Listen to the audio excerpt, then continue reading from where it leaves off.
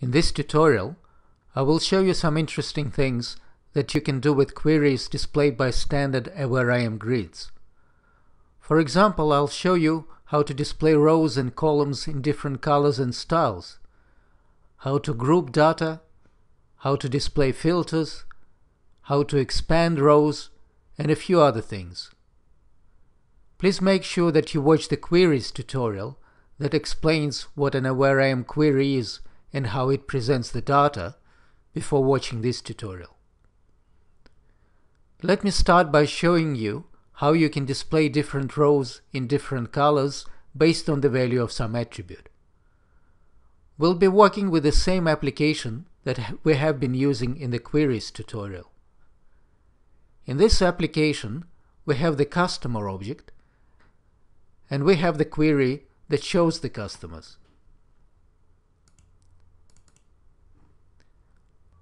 I have modified the query slightly so that it shows all customers unconditionally. Let's say that we want to display male and female customers in different colors. Male customers with a blue background and female customers with a green background. Not that you want to do it in a real application, but it's easy to do this for the illustration purposes. To display different records in different styles, we need to define what in AwareIM is called item rules. These are rules that define conditions for displaying records in a particular style. So I select the item display rules property of the query. Our first condition will check if the gender is male.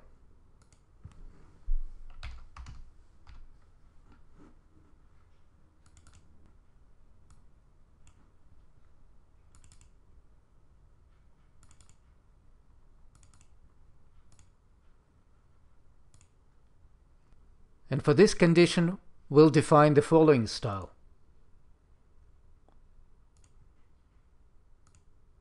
We'll display it with a blue background.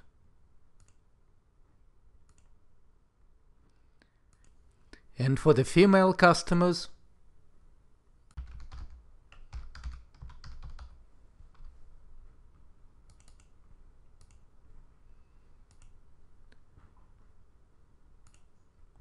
we'll define the following style. Green back background.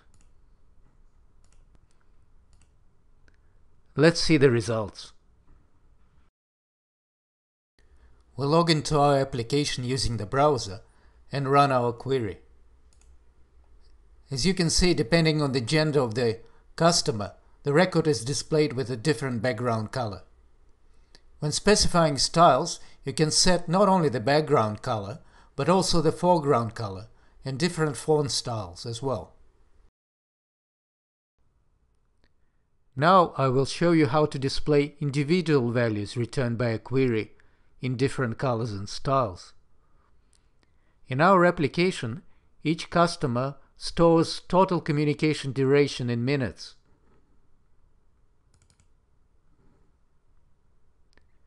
Let's display duration that is longer than 100 minutes in red and also make it bold and italic. Note that in this case, we only want to display one column differently, not the entire record, like in the item rules example. To do this, we need to define styles of the attribute in question, and then let the query use the styles of the attribute. How to define attribute styles is explained in the Advanced Forms tutorial. If we select the total communication duration attribute and go to its styles property, we will see that I have added a style with the condition that customer total communication duration is greater than 100 and in this case an attribute is displayed with a red foreground color with bold italic font style. Now we need to tell our query to use this attribute style.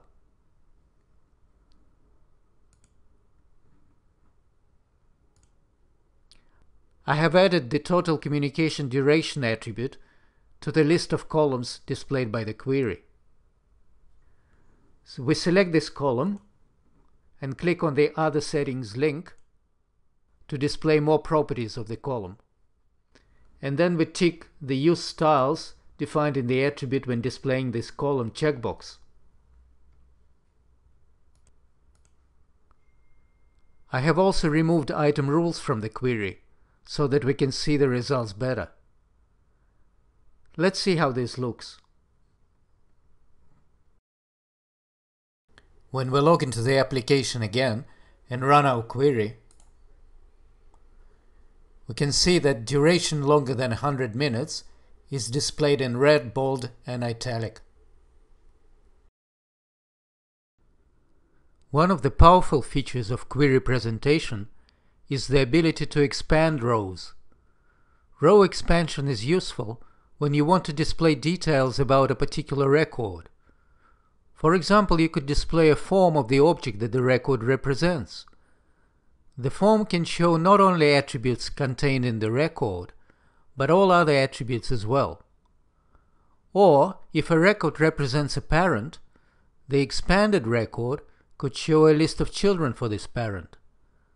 Think of order and line items, for example. Or we could have some attribute with a really long textual value.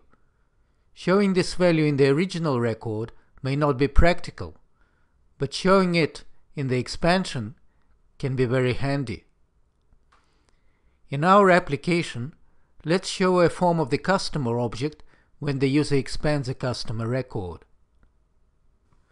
To do this, we select the expansion of rows property. Here we can choose the option Show values of attributes represented by the template below. This option is useful when we want to show a long textual value, for example. But the second option allows us to perform any operation when a row is expanded. We can show a form run a query, start a process. In our case, we will show a form.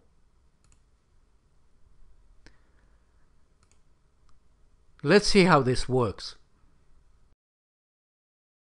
Now, if we run our query, we can see that every record has a little icon next to it. If we click on it, the row expands and we can see the form of the corresponding customer.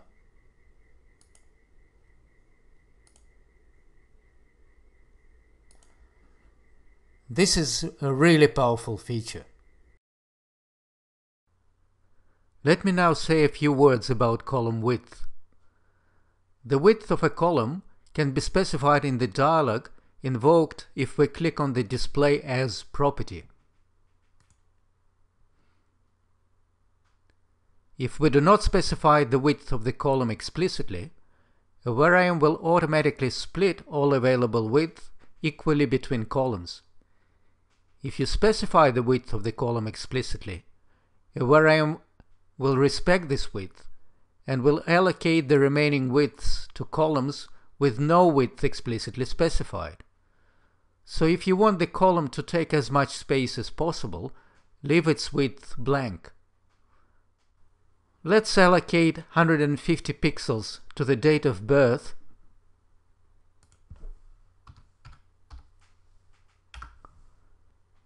and 100 pixels to the duration and photo columns.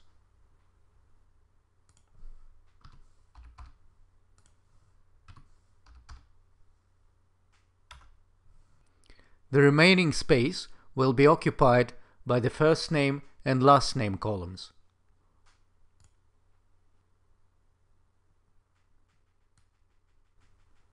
We can see in the preview window how this looks. Column width will only affect how a query is displayed initially, but then the user can resize the columns and change their widths. The user can also hide or show columns. But what if the user wants to save his layout so that the next time the query is displayed exactly as he, as he set it up before? To allow this, we need to add save and restore operations to our query. So we go to Panel Operations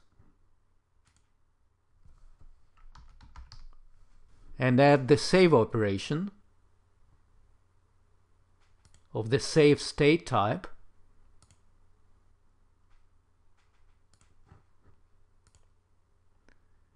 and we add the restore operation of the restore state type.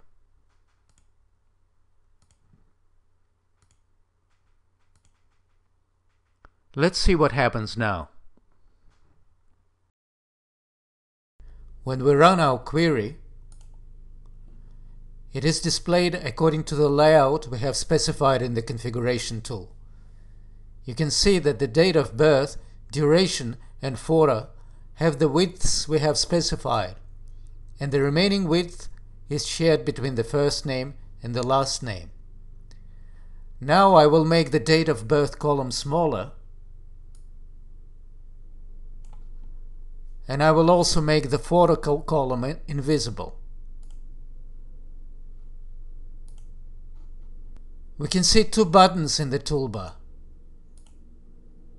to save and restore settings.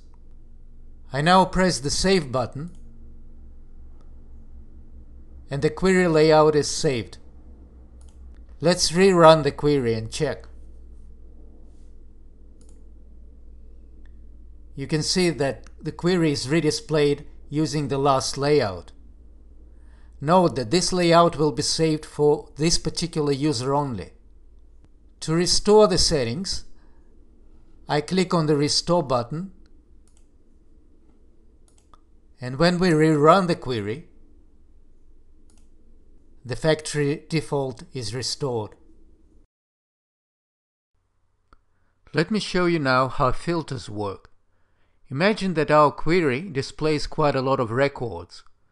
Filters give users the ability to find a particular record quickly. To do this, we click on the filters property of the query.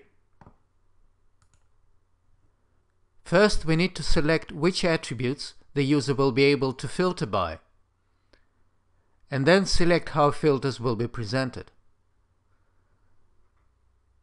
Let's filter by first and last name only, so we will unselect other attributes.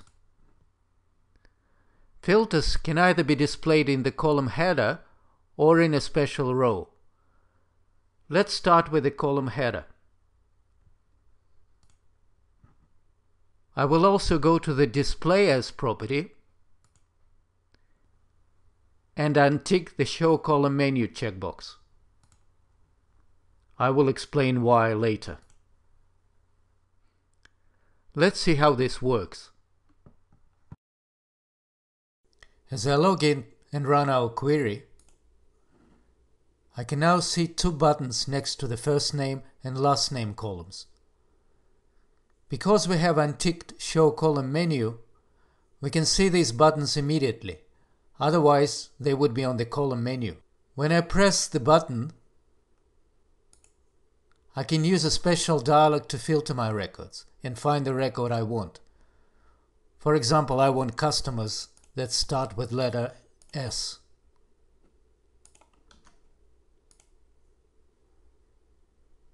Let me show you now filters displayed in a separate row. So I go back to the filters dialog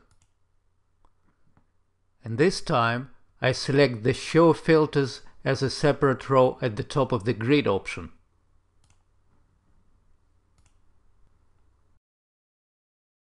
If we go back to the browser, we can see the separate row with filters. I can now quickly specify the, the value to filter by.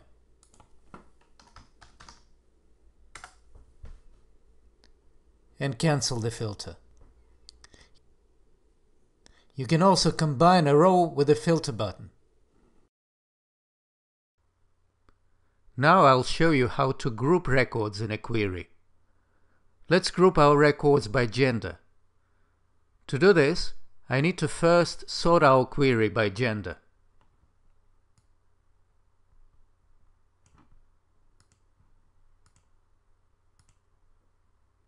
Then I need to add the gender attribute to the list of columns displayed by the query.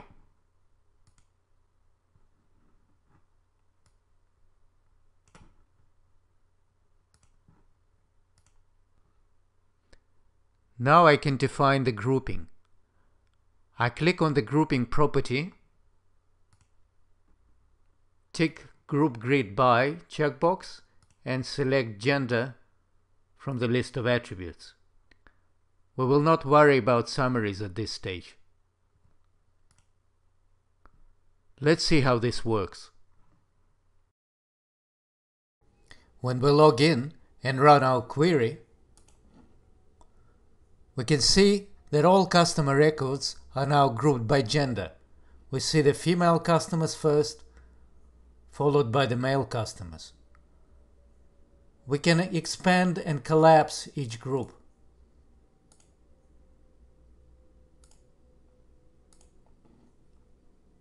Note that you can also display groups collapsed initially and even calculate summaries for each group. And finally, I want to show you how to group column headings of the query. For example, let's group first name and last name under the name heading. To do this, we will select the Display As property, click on the first name column and select the Other Settings option. There we will indicate that the column should start a new group.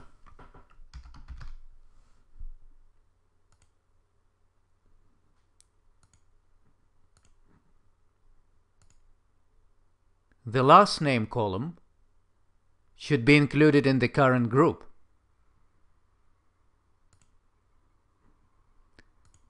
And the duration column should not be included in any groups.